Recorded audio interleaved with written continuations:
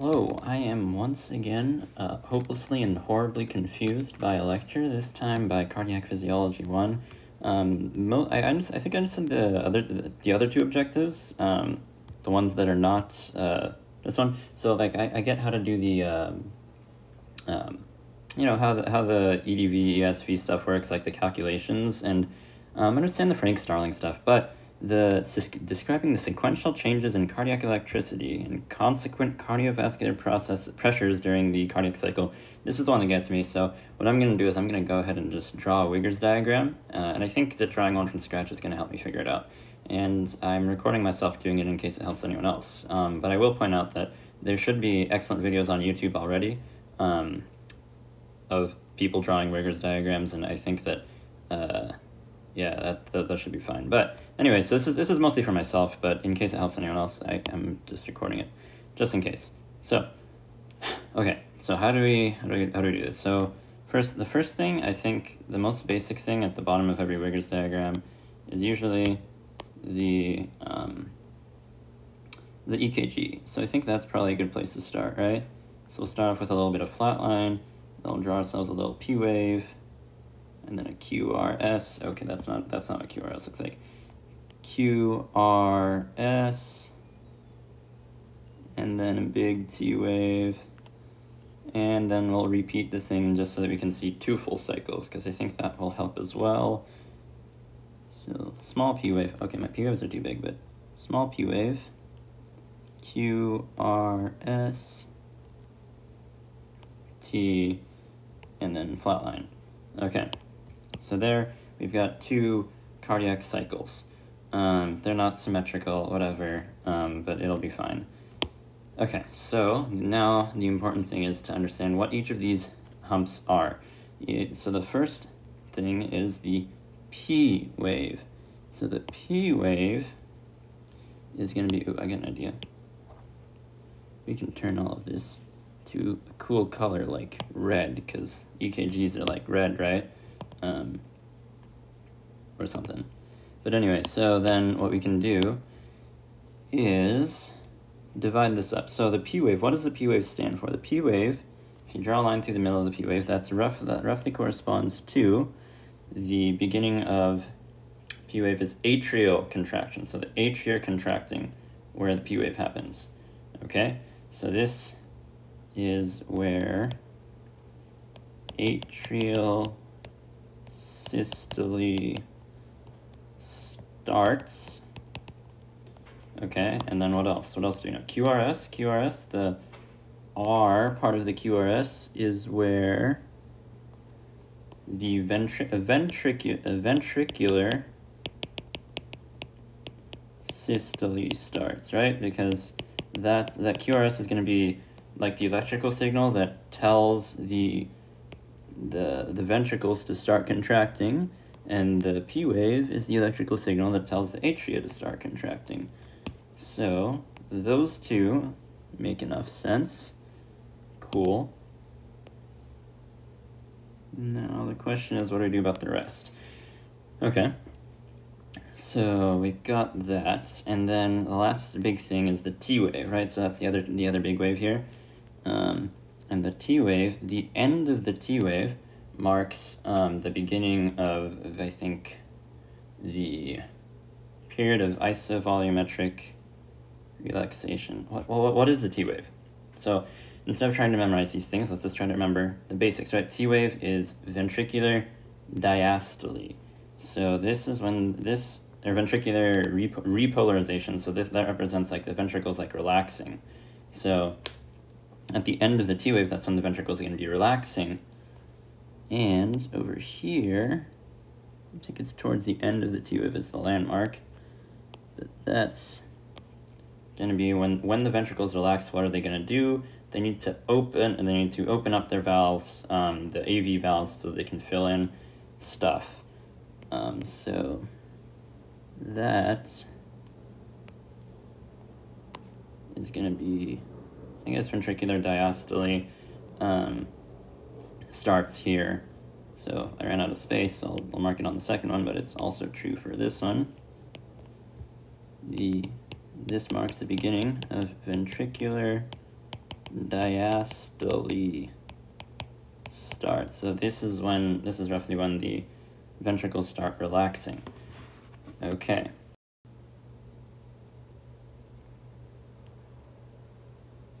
Okay. So now we have to label each of these periods, and specifically you have to find like where the valves open and close. So first thing is uh, aligning, the first step is to figure out, like, you draw, you draw your EKG, the P, Q, R, S, and T.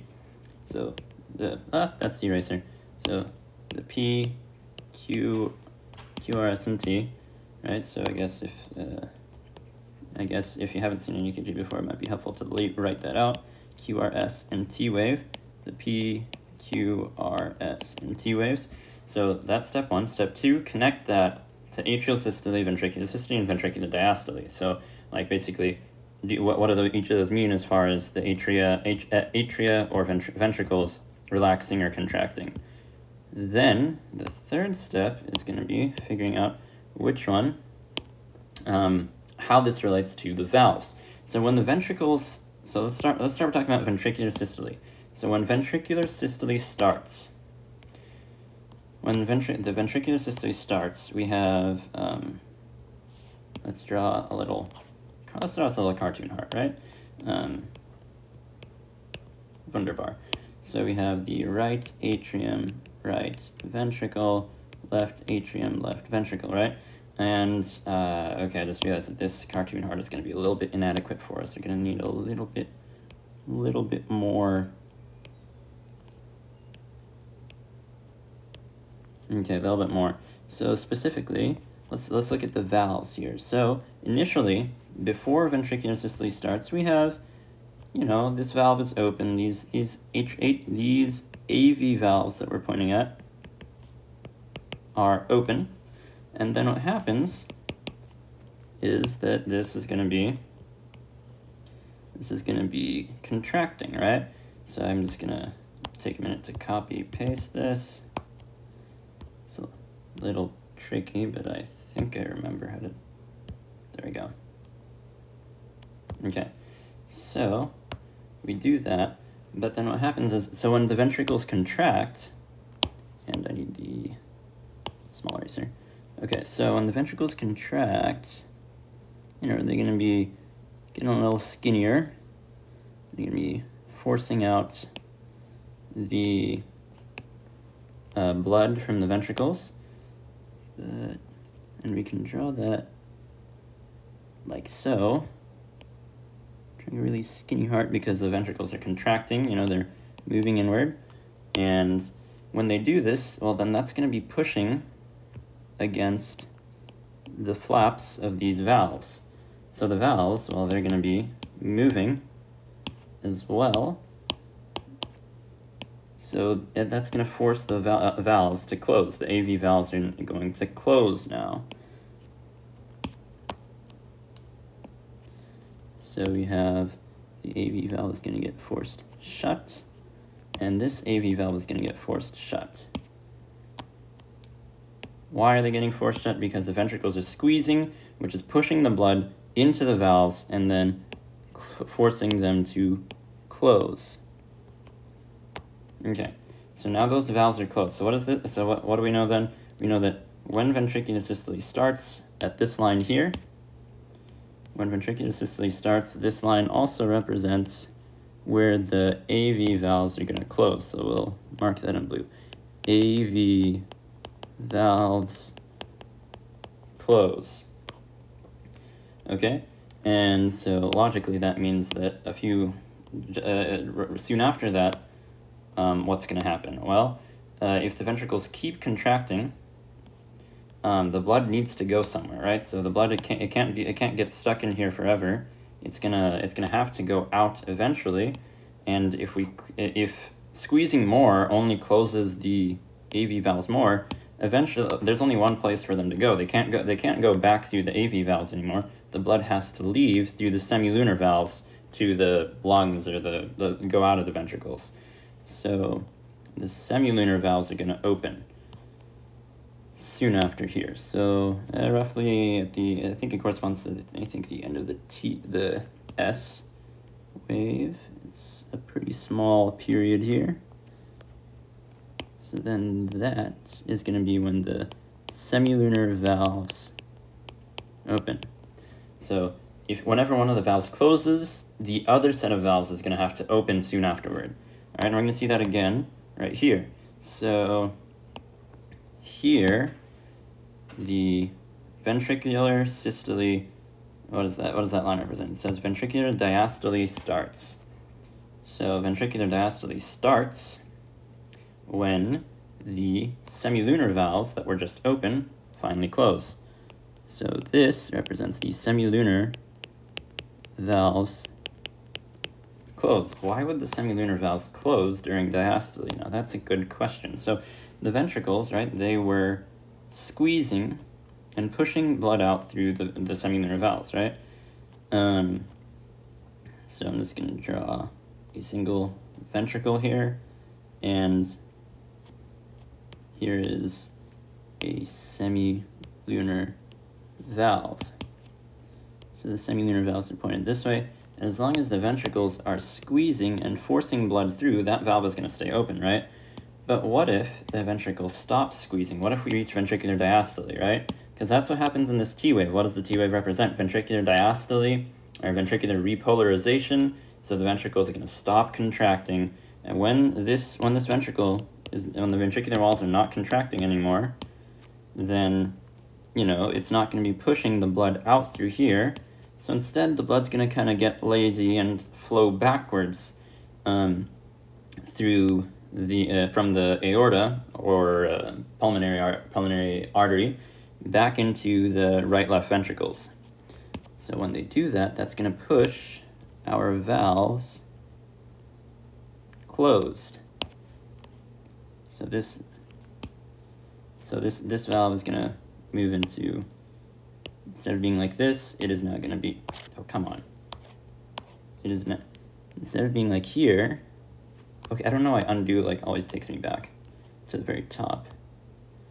I just want to undo, okay. But,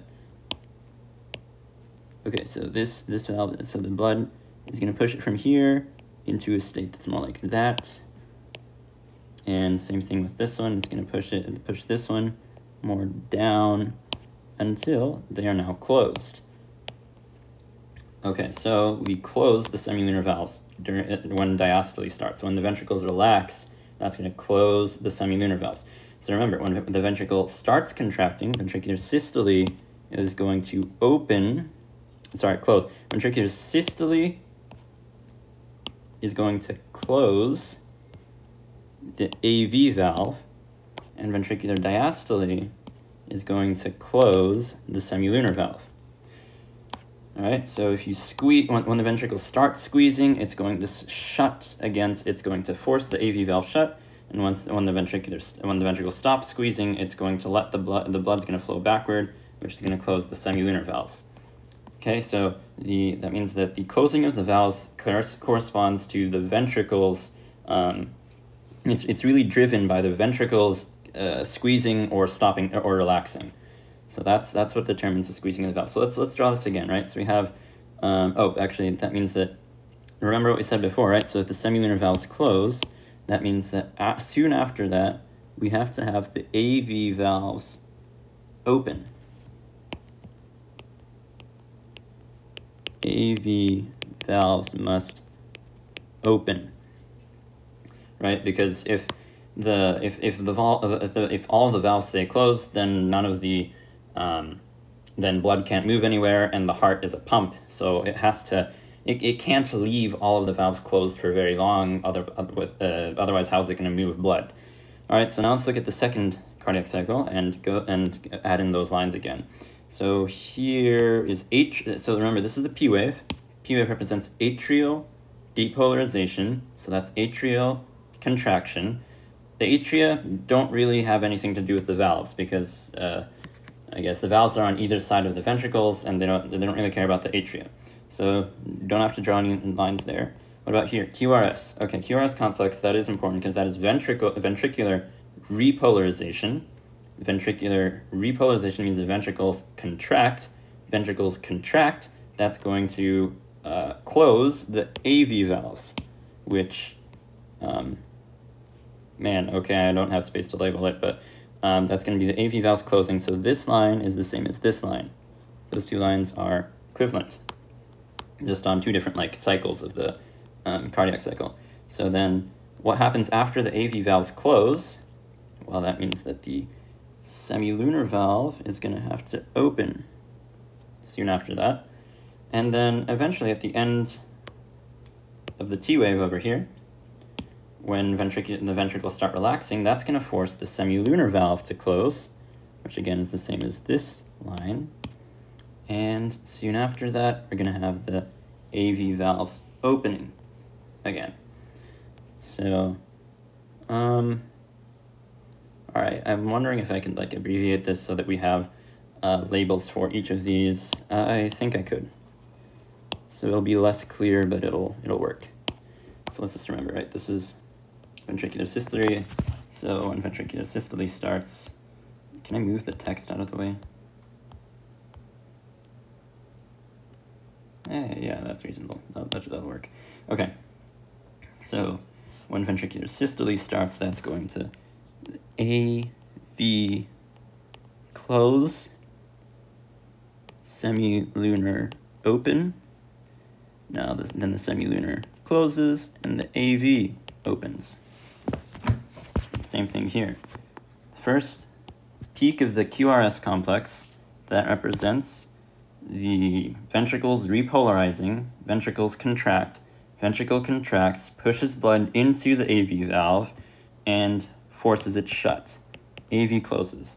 Soon after that, we have the, uh, the right around where the S, uh, S wave is, um, we're going to have, uh, we must have the semilunar open, because, well, if the AVs are closed, well, the other valves have to open sooner or later.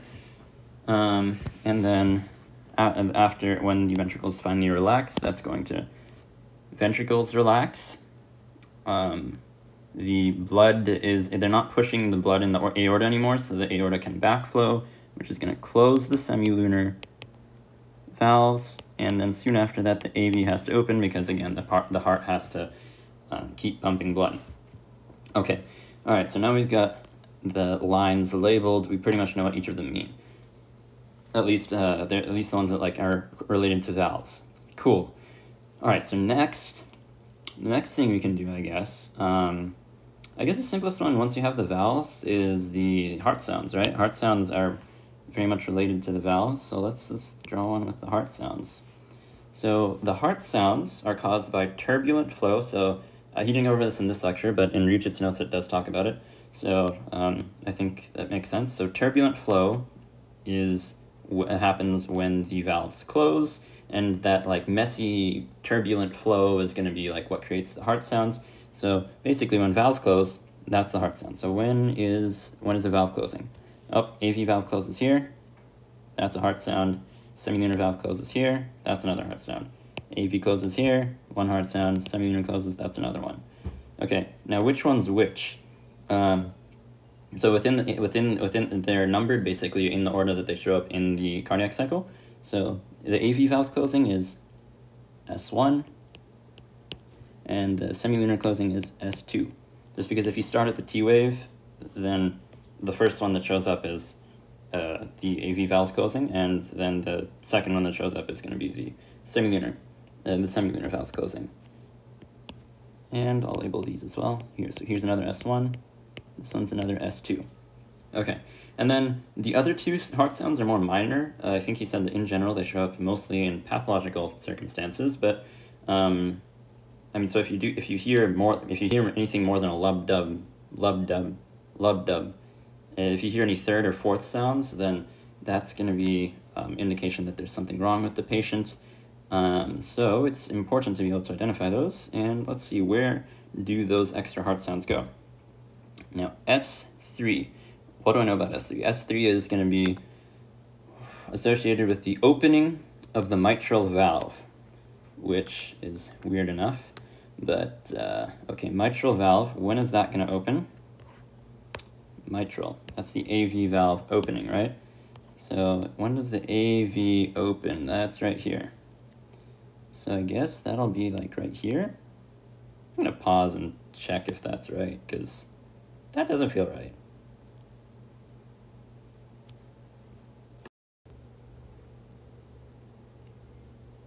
Okay, so it turns out it is right.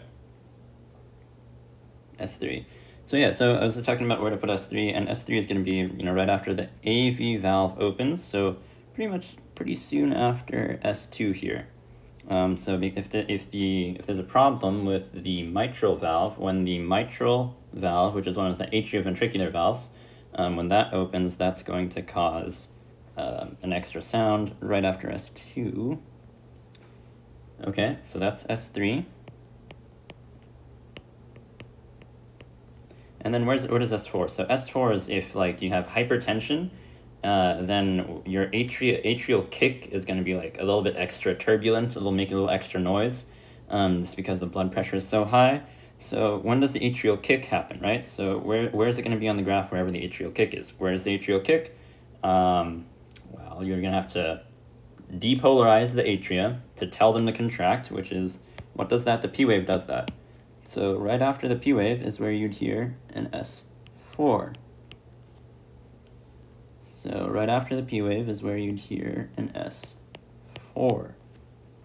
Okay, there we go. So there's all the, there's all the heart sounds. So eh, eh, looks like S4 kind of technically happens before S1. Uh, if we define the P wave as like the start of the cardiac cycle, but oh well, it's uh it's it's a cycle. If you if you go in if you start at S one, you could you can count one two three four, and it makes enough sense. Anyway, but yeah, so there's all the heart sounds. Cool. Next, pressures, right? Because that's that's what this that's what the objective says. The objective says that we have to be able to you know correlate the cardiac electricity to pressures. Okay, so let's let's get to the hard part. So I think that these valves is really important to kind of figure out like um, basically connect the electricity to the pressure. That's that's how I make the connection at least. Um, so that's that's what we're, so yeah that's that's why I drew that first. But now let's get to the main part, which is the pressures. Okay, so the pressure. Um, how do which one do we want to start with? Okay, uh, let's see. So I guess the main one that we need is um, I guess the first, the main one that he showed was atria, right? So there's the right there. There's a the pressure in the right atrium, left atrium, and also the venous system. So the jugular vein, or the superior vena cava, or the inferior vena cava. All of them are going to follow roughly the same curve, and it's it's the one that has the A wave, the C wave, and the V wave. Flip. Okay, that is not a great drawing, but so let's let's see if we can basically t- uh, figure out where, where each of those waves uh, belongs within our graph here.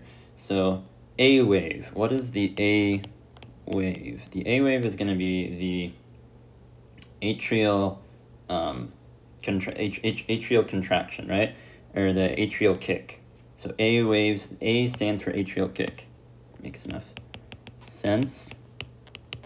So where am I gonna, so where's the atrial kick happen? Again, when we ask the, when we depolarize the atria with the P wave and ask the atria to, hey, could you uh, contract a little bit?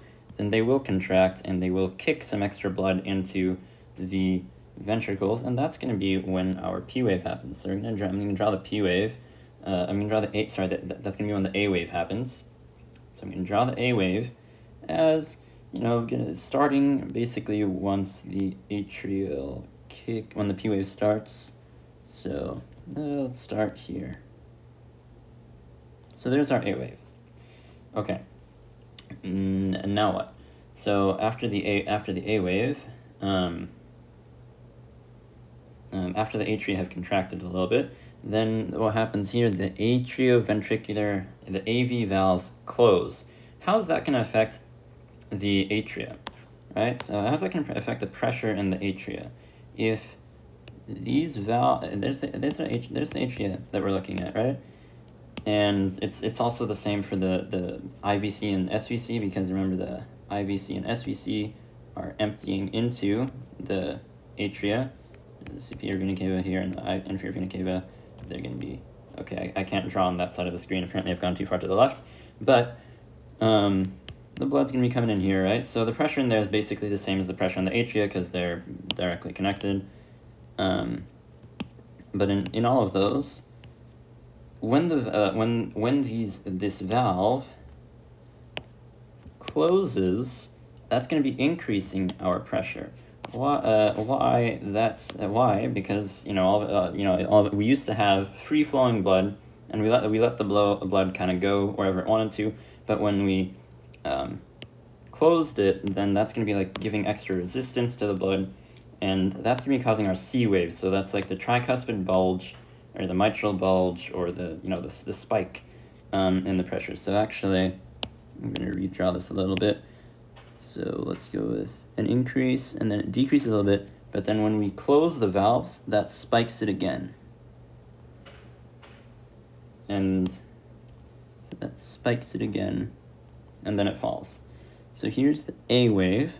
This is the C wave. So that's the C wave is going to be the tricuspid um, bulge. So you see it's, it's bulge. And I think it's actually supposed to go higher than this A wave was. So let me fix that. Ah, no. Don't erase everything. All of my hard work. Okay, so a little higher. You gotta drop a little lower. All right. So there's the C wave. Okay, and then the next step after that, what they call it is the X descent. So this is going to be when the, uh, apparently this is the atrial relaxation. That was the mnemonic that he provided in the slides anyway. So A wave for atria, C wave for cuspid, X for relaxation. Okay, so then this is the X descent. So that's when the atria are relaxing. Um, you know, the pressure is going to be decreasing because they're relaxed. And uh, they're, it's kind of, because, you know, they just got done contracting over here to, to get that extra atrial kick. And now it's time for them to relax, so we have that X descent. And then slowly, uh, once the, once the atria done relaxing, it's slowly going to start, de uh, slowly going to start increasing again. I don't think that the this the the, the next peak is actually associated with any particular um, um, you know any particular electrical events i think it's i'm, I'm like on, on, on the as far as the ekg goes i think it just kind of happens like the blood just kind of fills into the atria passively and as it does um, as, as the blood flows into the atria uh, as, as blood flows into the atrium um, it's going to like press against the outsides and increase the pressure. Um, and you know, the, the AV valve is still closed, of course. So I guess it'll just increase the pressure until the AV valve's open. So we just kind of have passive increase in pressure until the AV valve's open. When does the AV valve open? There's that line. So that's that's where that that's why that line comes in handy for us. So actually, and actually, I think I've drawn it too high. I don't think it goes quite as high as the A wave this V1. So then it's just going to increase until there. So the AV, this is, so this is what we call the V wave. And then when the AV valves open, all of a sudden um, we, we start losing our pressure because it's going to be flowing out, the, the blood's going to be flowing out into the, the ventricles. Um, and it's going to keep good, keep doing that pretty much until the next A wave. So when is next A wave? Well, let's find the P. So that's the P wave on the EKG going to uh, that's going to that's to mean that the atria are contracting. So P wave on EKG. There we go. Let's try. I'm trying to get them like the same heightish, and so basically, that means that we can kind of just connect the dots here. It's gonna it's gonna be like a passive process, right? No, um, so this is the Y descent. So it's another descent, and it's just like the the blood's just like leaving the atria because we open the atrial valve and so why does the, uh, the we open the atrioventricular valve to let the blood out into the ventricles? All right, and then what happens here? Well, we, we this is another A wave. Okay, so this A wave uh, is because the atria are going to be uh, squeezing again. So pressure is not decreasing anymore. Pressure starts increasing when the atria start for like forcibly contracting, right? So if the atria are going to be contracting, to really squeeze the blood out, and I guess the valves should be, you know, the valves are going to be open here. Um, okay, I should I should just use a different I should use a new I should use a new model because this is trying to recycle the old one is not working.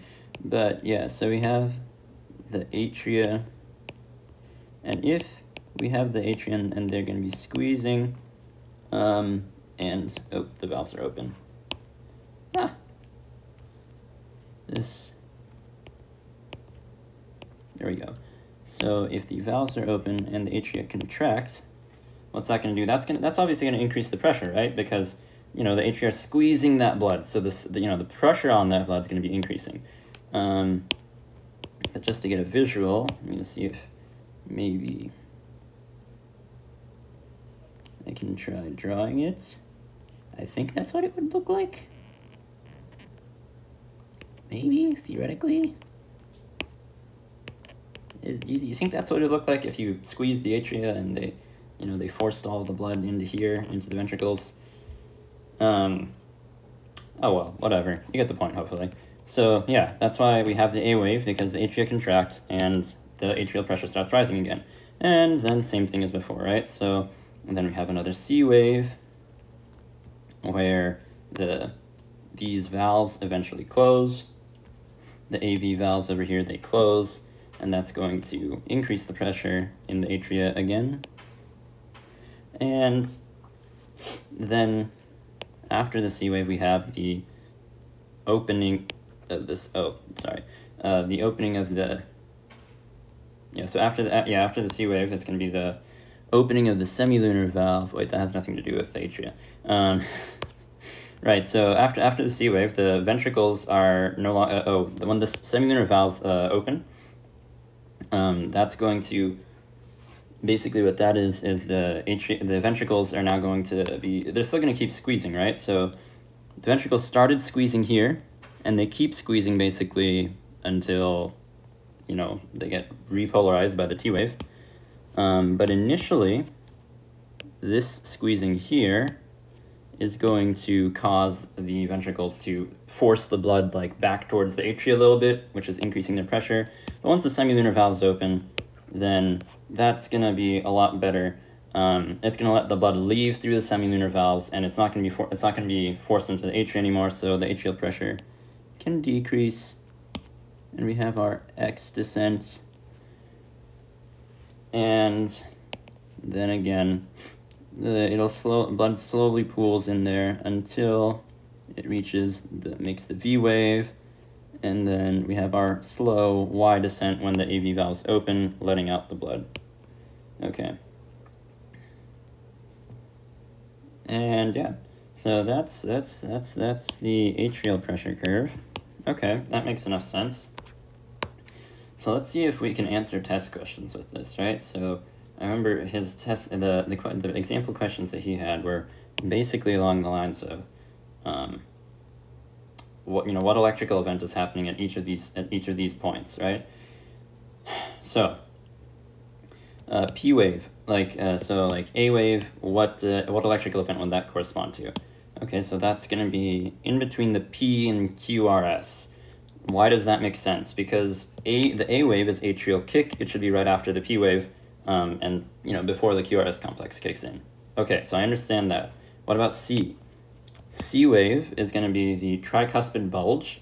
Um, what causes tricuspid bulge? It's caused by the, you know, the uh, AV valve or the tricuspid valve closing, and then some blood's going to push against that. So the AV valve closes, and then some blood pushes against it, so there's the atria up here, the ventricles down here. And that blood pushing against this is going to increase the pressure in the atria.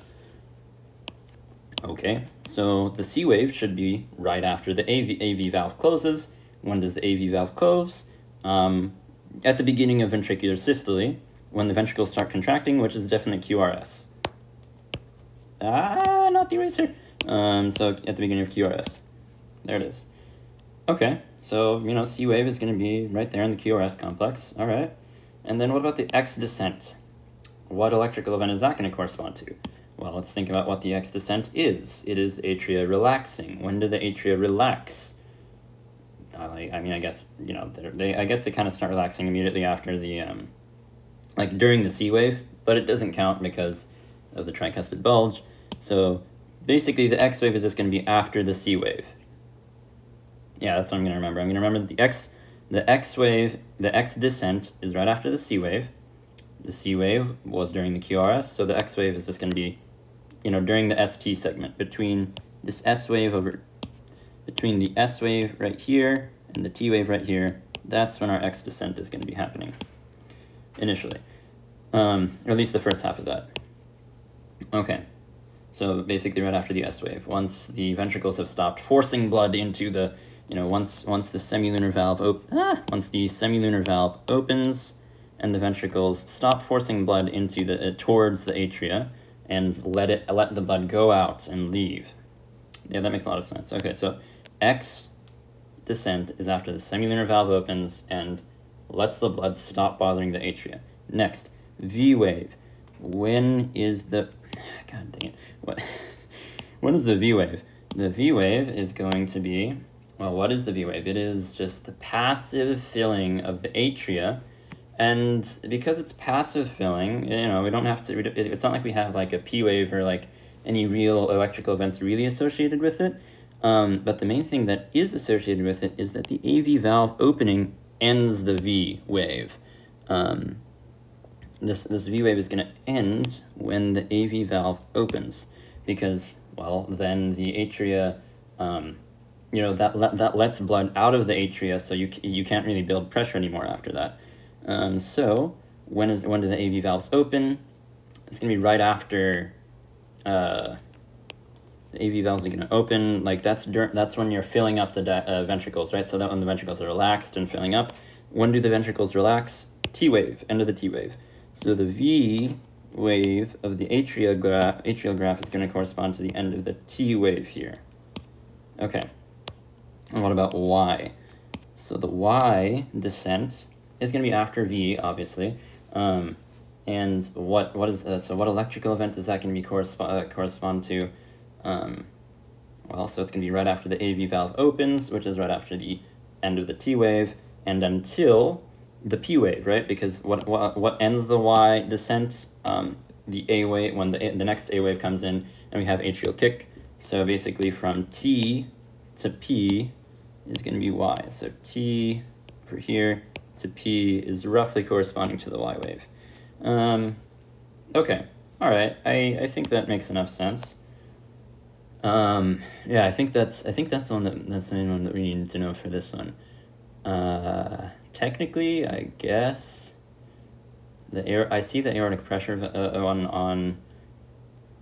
Yeah, I mean, a, a full Wiggers diagram is going to have aortic pressure and stuff, but I don't think he went over that really here. I think it was mostly about the atrial pressure and connecting that to the events. Okay. So I, am I'm, I'm, I'm good with that. I'm good with that, I think. Um, I guess I'll just go make my cards now. Uh, oh wait, oh wait, one, one more thing. I, I, I do want to do the pressure volume loop and see if I can connect that here. So, I'm, but I, I'm going to pause and see before that.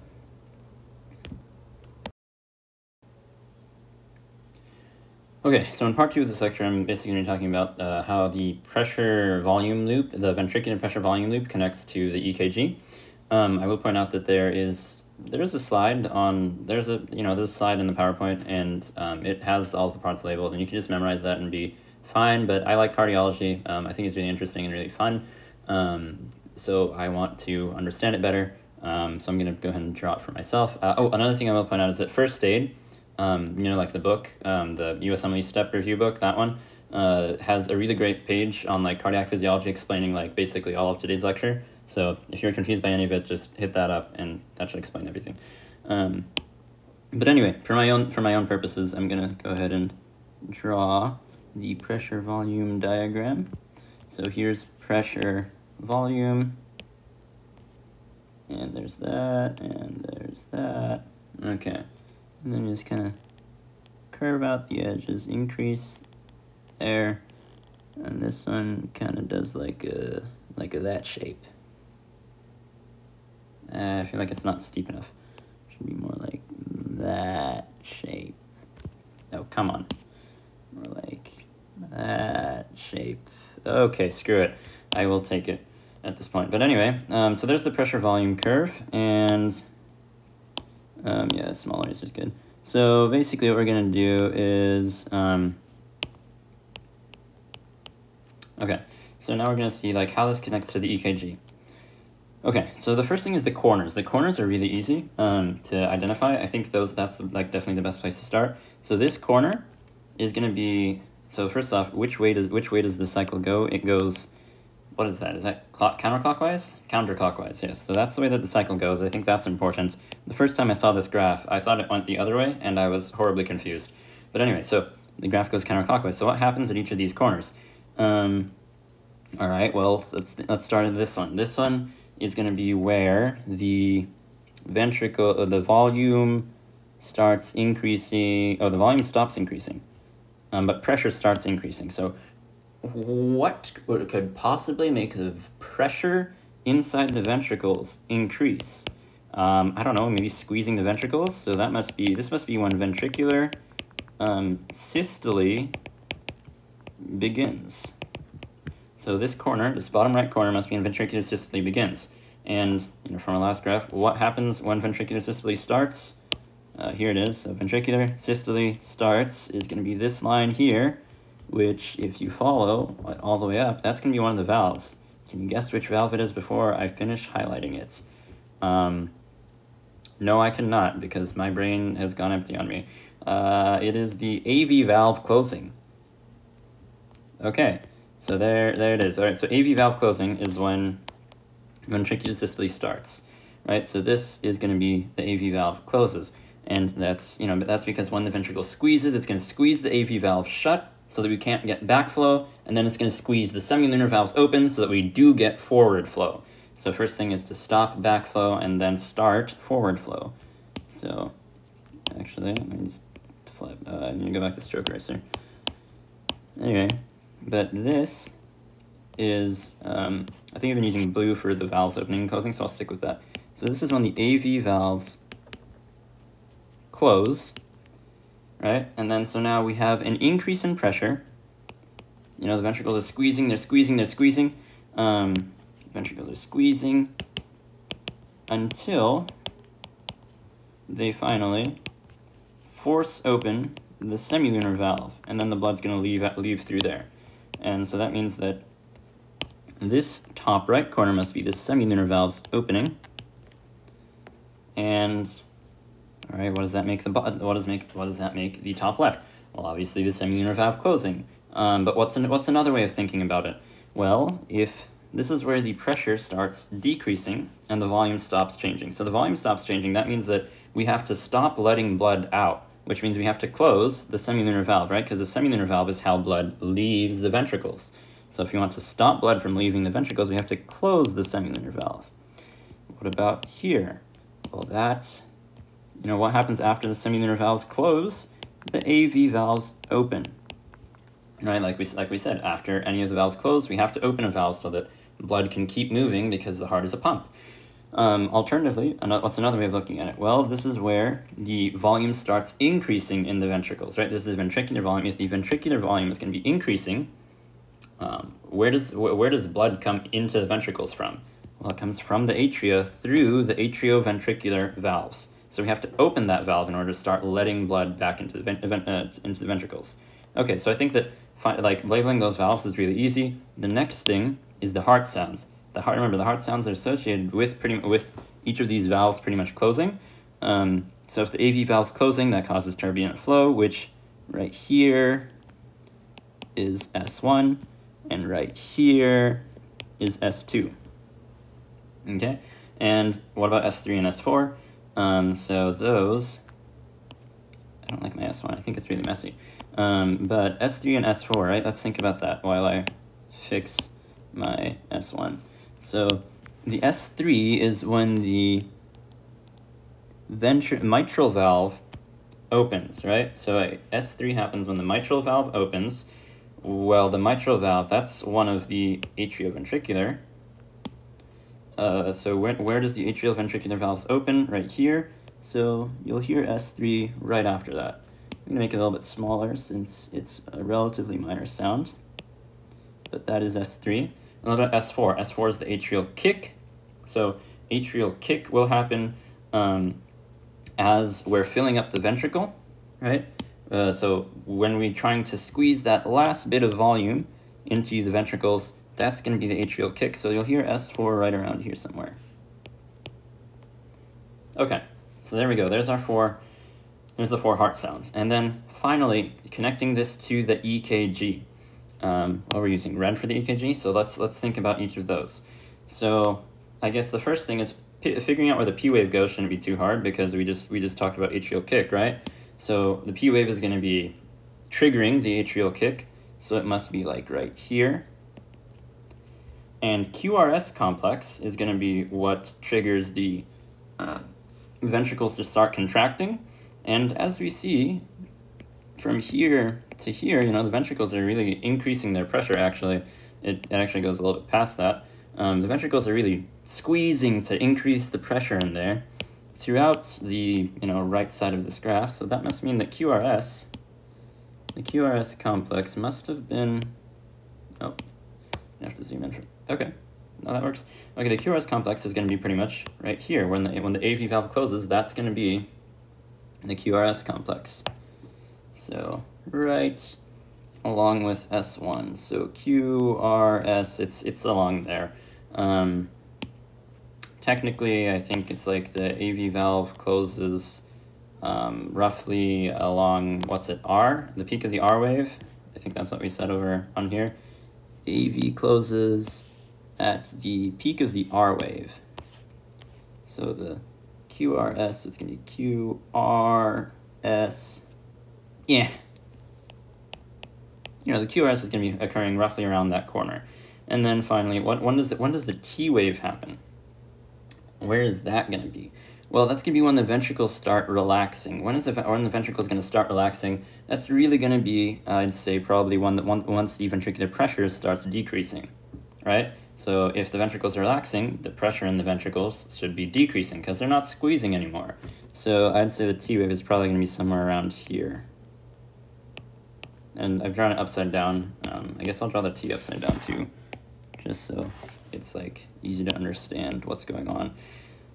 I don't know if that actually makes it easier or hard. I'm gonna fix the T then.